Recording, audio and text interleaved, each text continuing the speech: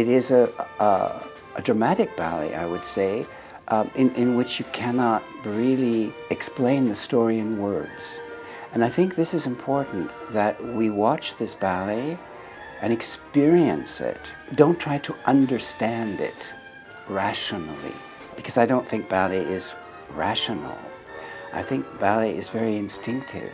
But there is an honesty and a reality that's very important when, when watching dance, because dance should speak directly to us. I believe that dance, in its essence, is actually the, the living shape of emotion.